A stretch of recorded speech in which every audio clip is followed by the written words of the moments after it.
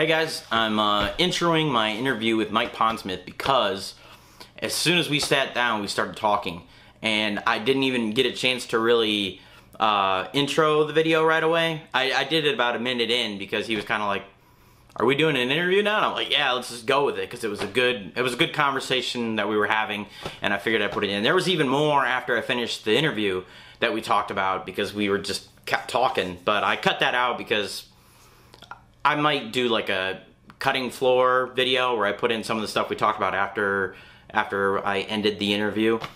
Um, so that's just kind of what I wanted to kind of preface this with that.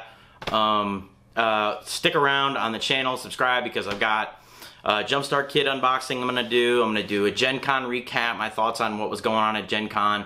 And then I also have a um, R. Talsorian at Gen Con news video that I want to do because there was a lot that was going on, a lot of things that were unannounced that I want to talk about. So here's my interview with Mike Pondsmith. Oh, walked seven miles already. Jeez, what a day. Yeah, dude, it's so crowded here. It's crazy. Yeah, it is. It's like uh, I was gonna try and do some recording, like just like you know, have like a Gen Con video. I was like, there's no room, man. No, no. I just look at this and go, it's better than E E3. Never been. I'd like to, but E3 is worth doing once. Uh, after that, it, it, you know, everybody. First time I, I went, uh, I, I led my team of Microsoft guys over there, and it was like, oh wow, E3, year two. Oh crap, E3, year three. Ah, jeez. How many have you been to? E3? Hmm? how many E3s have you been to? Seven, eight. Wow. Yeah. Just for like other games that you did when you worked at Other uh, games I did when I worked at Microsoft, there was two that I was uh, headlining on, you know, as, as uh, lead, and then um, in between shows, uh, there was one, a couple I did which uh, were with other studios, another studio, and then uh, recently CDPR, Yeah. where I'm not showing up because we normally don't have a booth there, but I'm showing up and talking to people and you know stuff, stuff like that. And uh, actually, last year, this year, E3s, where uh, CDPR, we, we built an entire bar. In fact, each year it's a different bar from the Cyberpunk universe. Yeah, yeah, yeah. I've seen. And- yeah, they look awesome. There's some great pictures of me doing bartending there. I with, thought it was know, cool when they did the. They put actual bullet holes in the. That yeah, was pretty cool. uh, oh, God knows. they don't have a- mess around. well, they have a whole arsenal upstairs in one of the floors where they design the weapons. It's really funny. When I first started talking to them, they brought me in at one point. They said, "Mike, we have the weapons." And I looked at the weapons. I said, "They're like all silver ray guns," and they're going, "Yeah, they're science fiction." I said, "No, no, no, no, no. You don't understand. Cyberpunk guns." Are big, black, threatening, and scary Yeah. from the beginning. They are not friendly. They are not stylish. They are large masses of death. yeah. So when you went into that, did you already have Uh, like actually, red in you mind? interviewing? Yeah, we, I mean, we might as well just keep it, keep it Yeah, going, you keep know? it going, eh? I mean, I'm Luke from uh, thedarkfuture.com. And I'm, Mike with Pondsmith from R. Talsorian Games. I'm the guy I was about to say it. The who guy killed who killed your cyberpunk, cyberpunk character. character. He's creator of Mekton, Cyberpunk, Teenagers from Outer Space. Am I missing a whole bunch? Uh, there's a lot, Yeah. but you know, who cares? We want to see cyberpunk. So, like, when you were going into Red, Uh huh. what was the inspiration behind that? Because I know you said, you know, you had Blade Runner and Hardwired for the first game, probably 2020. Red's obviously different. Red did you look evolved out of necessity. What basically happens in any kind of game, or to be honest, in almost any type of, of uh, story arc, is that you eventually expand beyond the borders. Either you know the monsters are all killed, or you have a way to get rid of the big bad, or your heroes are too big, or just everybody's been there before. They've all walked around Lothlorien and gone, yeah, okay, there's there's fish and elves. So you have to change up your environment. So Red came about when I and uh, some of the older Talsorian crew, including my, my good friend Dave Ackerman hiding over there behind the booth, um, we decided we had to go shift things so we had more exciting and new things. So we looked at it and we said, hey, we got this corporate war going on. Let's just make it really ugly. Let's, let's you know, sit down and make it big time. Uh, the Fourth Corporate War was kind of modeled loosely off of World War II if we ignore the Japanese Yeah. side of it. and it was what happens when multinational corporations are big enough to fight at least at the level of, let's say, France and England. So we blew things up in Night City so that Johnny and his friends, who were all really dominant characters, were now out of the way. And we did it in a way where, you know, you don't really know what happened in the end. Um, we also got rid of a lot of the big corporations because by that point, most people said, yeah, we fought Arasaka, we defeated Arasaka. That's like saying I beat up Godzilla. What's the point? Know? Yeah. So, Red comes from the background of a world where people take back power and they actually have a chance to win. And the resolution doesn't really come about until we see 77. Now, if if 2077 hadn't happened, yeah, do you think you would have gone in the same direction with Red, or uh, I was headed in the same general direction. It just was. It, it's really been weird working with CD Projekt because what happens is we kind of think a lot of the same ways. So they were going, how do we keep things sort of like you know the cyberpunk everybody likes? And I'm going, meanwhile, how can I keep the things people like but you know, scale it down so it's like not everybody has a Malorian and you know, a silver chrome art. So we talked about a lot of this stuff, and the process, you know, is, is taking years to kind of evolve where we want to go. But we're really happy with what we've got right now. I know before you were talking about how you kind of, when you gave it over to CD Projekt Red, they were kind of doing like a fanfic, I think is what you called it, was it? Was Not it really? Was it, I'm sorry, guys. I didn't mean that. I mean, was it hard to kind of give your IP to somebody to kind of like trust them with your baby to do something? Uh, well, I've been around this this situation a lot. There have been other many other companies and publishers who wanted to do cyberpunk over the years. The thing about the CD Projekt guys was we went over there and you know I didn't know what to expect. We hadn't seen anything they'd done. They said, "We'll fly over, introduce yourselves, and all that." And I went over and I sort of expected they'd be this little tiny company and I'd you know be nice and then we'd take off and they might do something. And I walked into this really well set up organization that was better than most of the project groups I'd been on in bigger places like Microsoft. And I went, damn, you know, why, why didn't we have you back when, you know, I had to go organize for these groups? So basically, you don't mind leaving your kid with a babysitter that things pretty much like you do, and you trust to not drop the kid. Yeah. And it's also been a process of handing the baby back and forth between us. So there are things I step in and go, yeah, I really want to have this, or they step in and go, this is really important. And a lot of times it's negotiable. Case in point, you know, my original conception of Johnny Silverhand wasn't, you know, uh, dark-haired Keanu Reeves. Yeah he was actually based originally off kind of David Bowie, but well, David Bowie was kind of busy in heaven or something at the time. yeah. But you know, the thing was, what was important was did you get the right feel for Johnny? This is a man who is kind of cold-blooded in some levels because he's lost a lot and he thinks the world is really screwed up and he really doesn't want it to be like that. And so he's going to use every tool at his disposal to turn it around. And that part we both agreed on.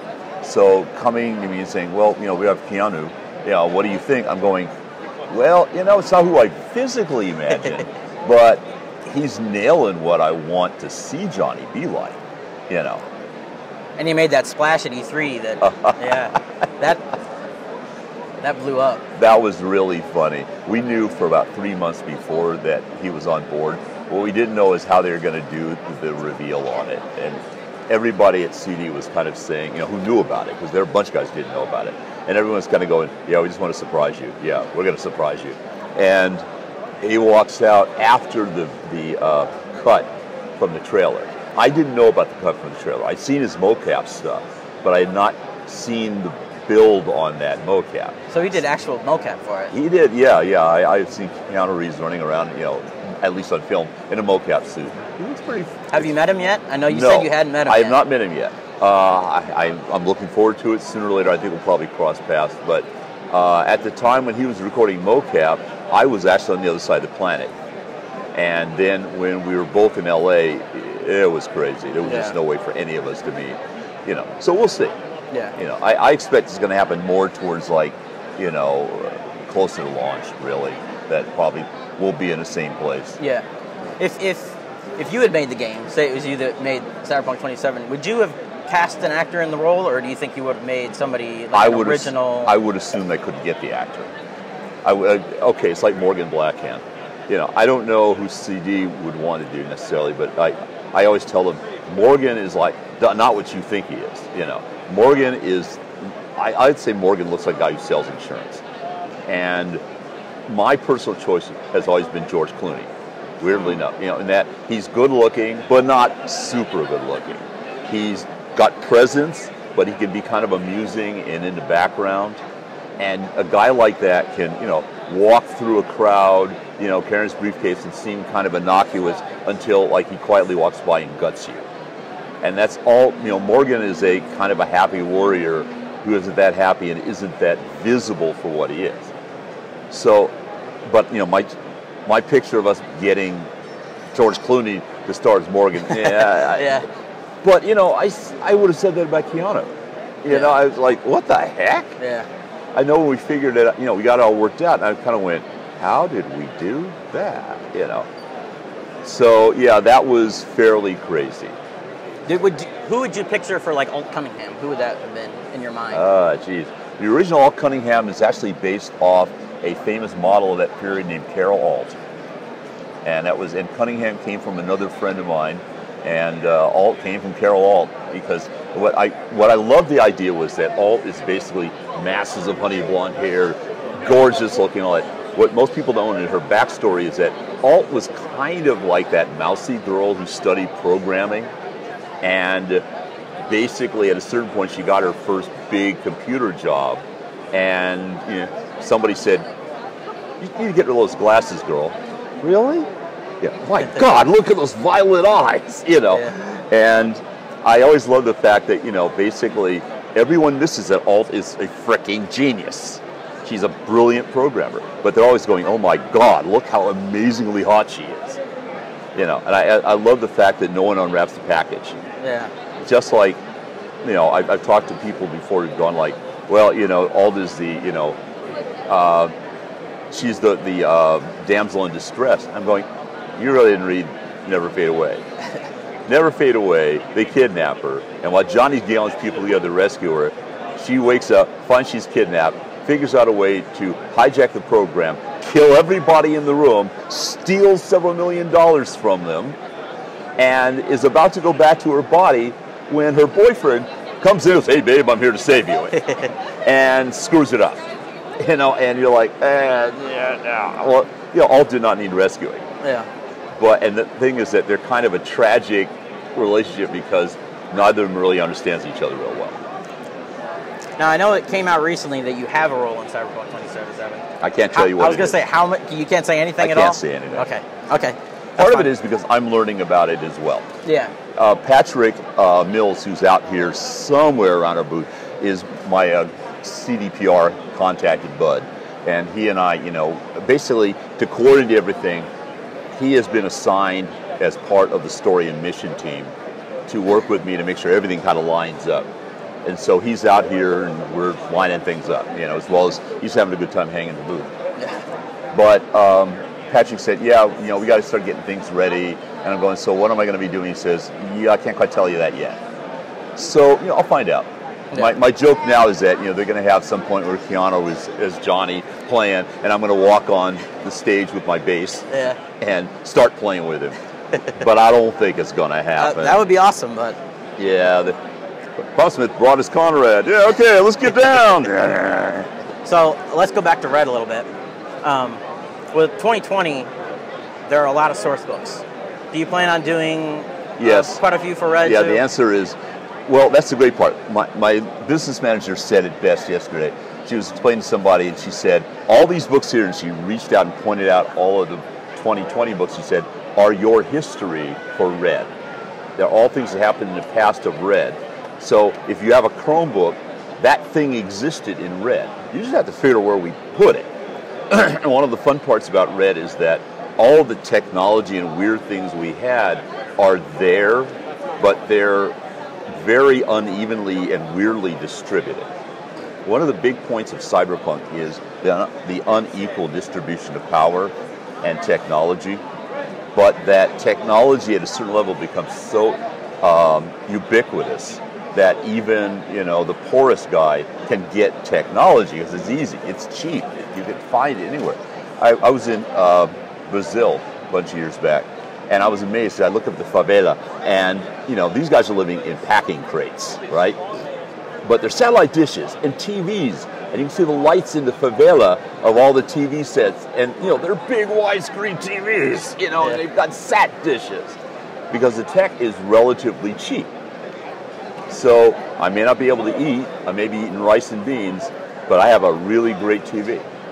Well, in red, what happens is the means of distributing that gets blown up, just totally destroyed. So what happens is suddenly anybody, including the poorest person and the richest person, have an equal chance of getting to that stuff.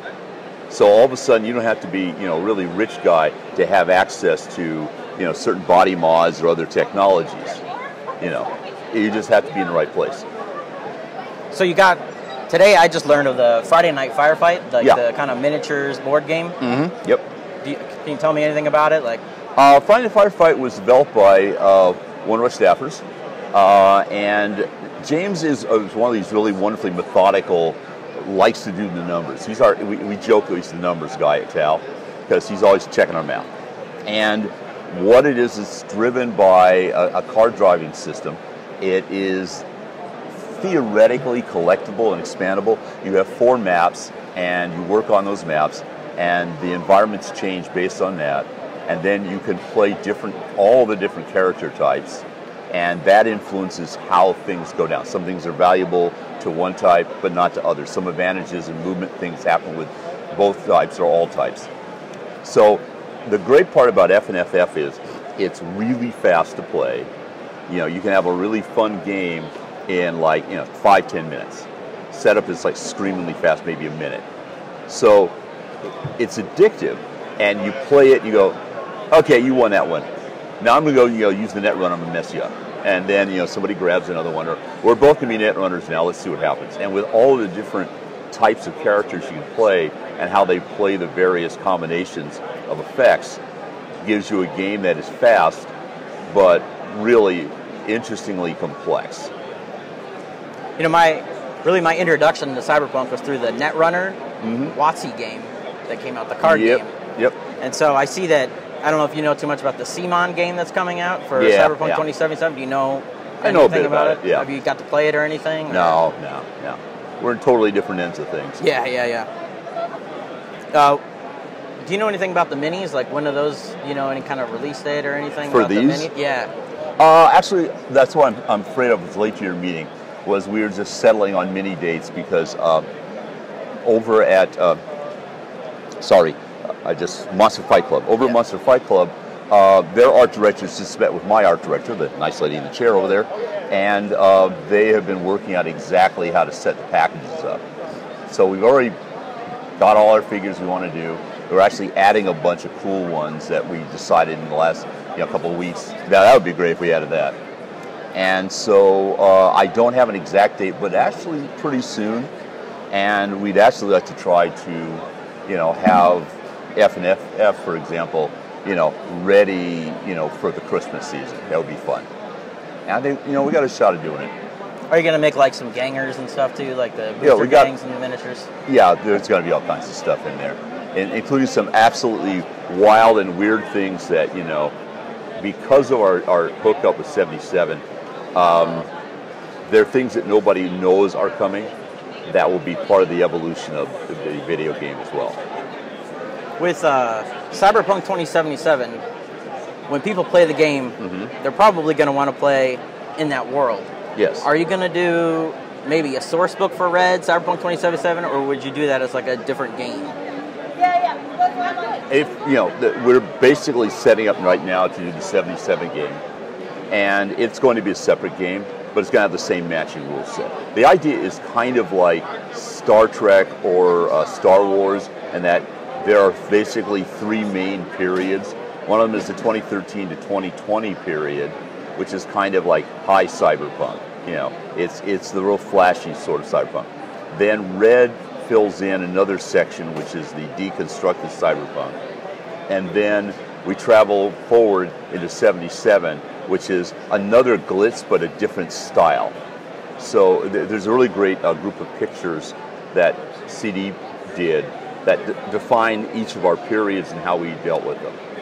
So what that means is your character um, needs to have an individual book for the period you want to be in it. It would be like saying, okay, um, we're going to give you Empire Strikes Back, but we're not going to give you any Star Wars, and we're not going to give you the rules. So the rules are in all of the books.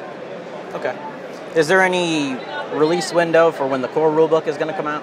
Uh, I have a partner we work with whose mantra is it'll be ready when it's ready.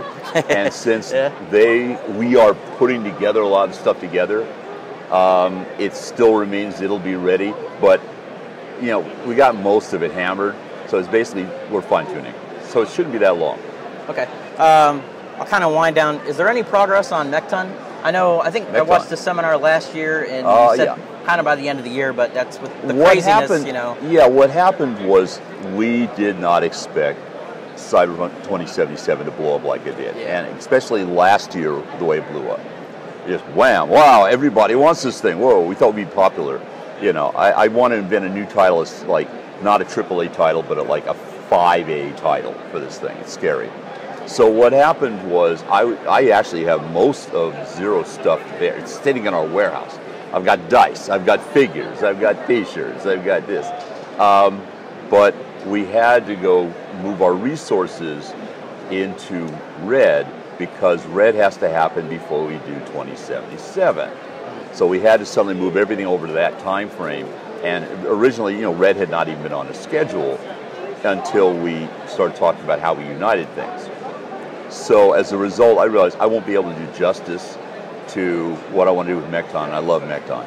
So we paid everybody in Kickstarter back, and then we went ahead and said, look, when we get you know get everything run out again, everything's set, we'll call you and we'll send you a copy because you've earned it. Yeah. You know, and we were able to you know basically swallow that cost. It wasn't that you know bad at all for us. So we kind of said, yeah, you know, we're, we're going to swallow this because we we wanted to get this to you. We didn't get to you when we hoped. Yeah, you know what you did with that Kickstarter is really commendable because Oh, thank you. a lot of you know a lot of companies they do something and they just kind of they don't give any updates and it's just gone. You know. we so- were kind of well. That was what taught, taught me that we had to change that because, you know, we were giving updates as fast as I could get, but I wasn't able to give a lot of good updates because you know, I, well, you know, what are you guys doing? Uh, coming back from Poland?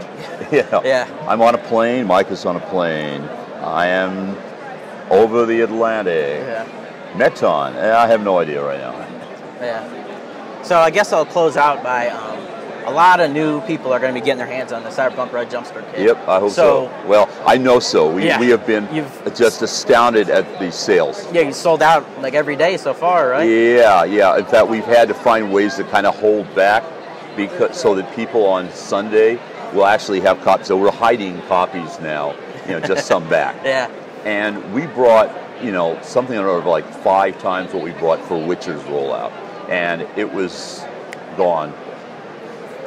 It was insane. I came in as soon as the doors open. I came in. There was already a line all the way down the wall. Yeah, it's like all the way down the one. I, Witcher, we had maybe two booth areas down the wall, and this is like, man, I can't see the end of that. You know, we're, we're sending people down. You know, so yeah, basically, um, what we've ended up doing is we will have it on the market. You know, uh, our printer, unfortunately, that's putting all this together and all that, they are basically on the East Coast, and there's no way we could get more in time for the show.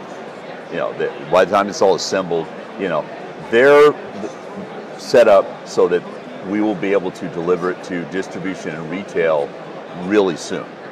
And that way, those of you who haven't been able to get a copy of it, believe me, we're getting it out to you real fast.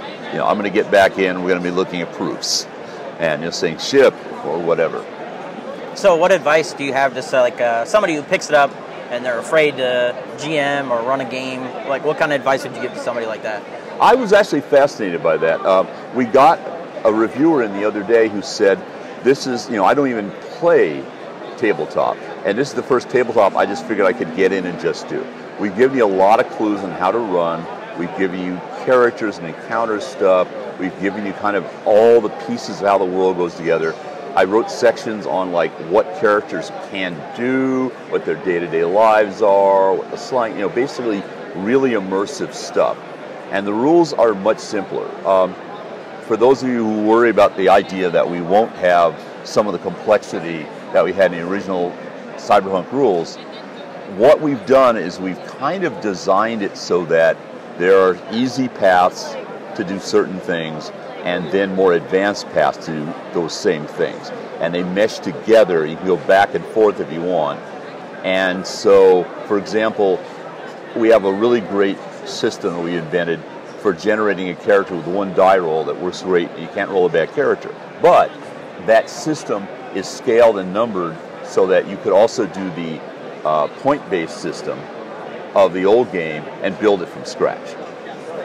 So we tried to keep a world that works for both the old players and our old fans and also is accessible to the new fans as well because there's you know a lot of those people out there who've never seen it or they've come through video games and are you know going to want to learn how to do this on their own and you know people commented that there's some things that we you know have brought back from the old game and yes we have to do that because you, you know old players know this you know um, guys in cdpr can like quote stuff at me now but all the new guys have to learn it too. So we have to make it accessible to them as well.